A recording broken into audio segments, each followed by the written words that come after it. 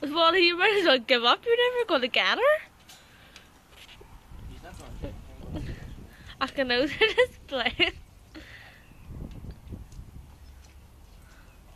The number thinks it's all serious, like.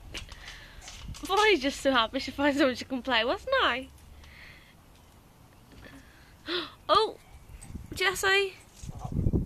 I don't know. I think that's it for